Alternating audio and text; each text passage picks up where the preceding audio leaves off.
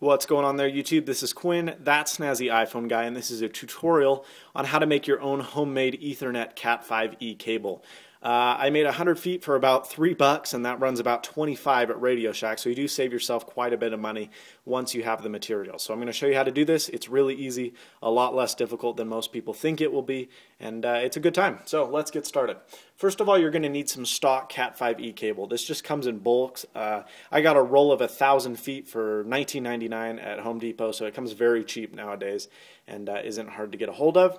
You're going to need some 8-pin uh, Cat5e connectors. These are the uh, typical plug in what you see. Here. We're going to strip these cables and then we're going to stick the wires in there and uh, clamp it down. But uh, these run, I got ripped off. I paid uh, 10 bucks for five of them at Radio Shack, but you can get like a bucket of 50 for 15 bucks at Home Depot. And then you're going to need a ratchet. this is to uh, secure the cable, make sure it all works grand and uh, fine. Uh, this one is a nice one. This is from a company called Ideal. I paid $29.99 for this, I think, but you can find them as cheap as uh, 10 bucks at Home Depot once again. So what we need to do first is remove the jacket from the cable. Uh, I'm just going to use this little built-in tool, but you can just use a pair of house scissors.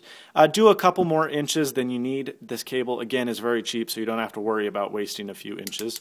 Just clamp that down and uh, you'll be able to remove the jacket without any issue whatsoever. You pull that and we are good to go. So uh, what we need to do first is inside you'll find four separate cables. You're going to find a brown, a you're going to find a brown and then a white and brown, a green, white and green, a blue, white and blue, and then an orange, white and orange. You need to un, uh, unwrap these cables and we'll do that in just a minute. In some of them, you may find this string. This is to pull down the jacket if you choose to do that. We don't need to do this for this particular um, tutorial, so we're just going to cut this off with uh, regular house scissors. Okay, once we've done that, we are ready to go. Like I stated earlier, we just need to uh, untwist these. It's very easy, doesn't take a lot of work. Um, and then try and straighten them out as much as you can. Be careful, the wires are fragile, so you don't want to be yanking on them. You don't want to be touching them too hard or else they will break. But, uh, you know, it is pretty easy to do this. Just unscrew these.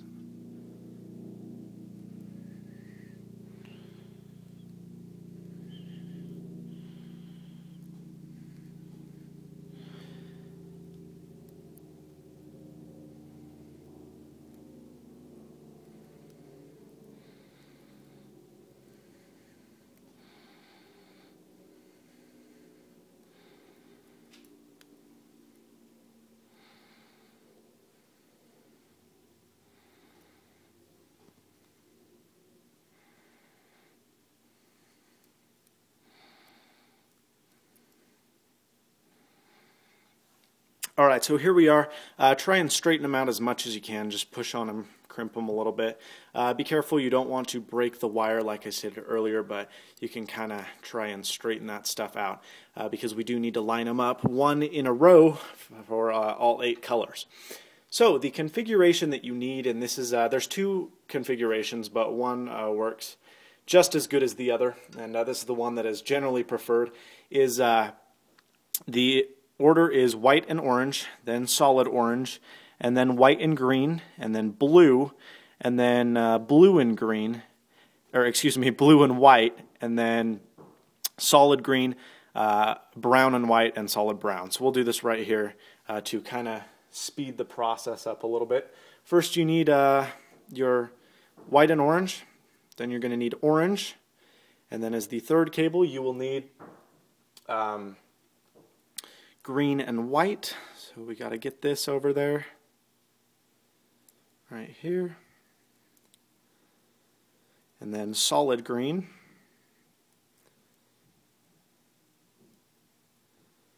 Don't be worried uh, about moving these around in the, I mean, they're all kind of twisted down there at the bottom. Uh, don't worry about separating them. I mean, they're not a big deal, but you can uh, choose to uh, move them if you want. But I don't, I don't do that. It's not that big a deal. So we got, uh, again, white and orange, solid orange, white and green. And then we are going to have um, solid green, excuse me, not solid green, solid blue. Um, so we got that right there. Now we are going to have uh, blue and white, and then solid green, and then brown and white and solid brown. So one last time, the configuration is, let me get this one a little bit out of the way here. The configuration is white and orange, orange, white and green, blue. Uh, you're going to have this one here, blue and white, uh, green again, and then brown and white, and then solid brown. So uh, once you got that kind of figured out, got those mashed it up together, we are ready to stick this into the connector. So first what we need to do is uh, lob this off, uh, get all but the probably this much. I mean, you don't need very much room there. You got your cable, you're ready to go. Take this, take some house scissors, and cut straight off. It's very important that you cut straight uh, because it does matter the order that the cables are in, and also they need to be the same length so they all reach together. Uh, fix those one last time, and we're good to go. Take your connector, do it upside down so that this is on the other side and the connectors are on this side, and stick them in. Make sure they're all in line and that they all go into their respective spots.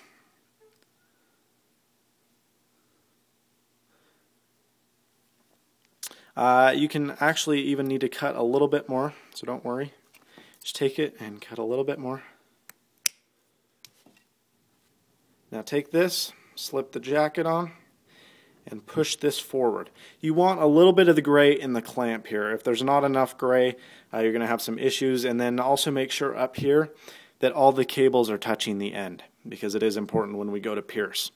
Now take your nifty little tool, stick it in the way that it goes, which is this way.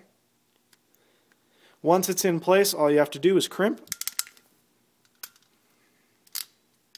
And you're good to go. You've made one end of your Cat 5e cable. Now all you need to do is do it to the other end, plug it directly into your motor um, or your modem or a switcher or wireless router, whatever you use, and you'll be set and ready to go. So that's the tutorial. It's very easy. It doesn't take a lot of time, and it's much cheaper than the other paid alternatives.